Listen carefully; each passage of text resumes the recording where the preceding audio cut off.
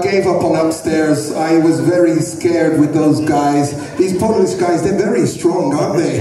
Mm, very scary. Touch me, touch me, touch me. And uh, so, what do you think of the performance? Give these lovely ladies a round of applause, please. So right now, ladies and gentlemen, we are going to go all the way to Iceland with the only Cuban guy in Iceland. And uh, so right now, these guys are, they are motivated by the music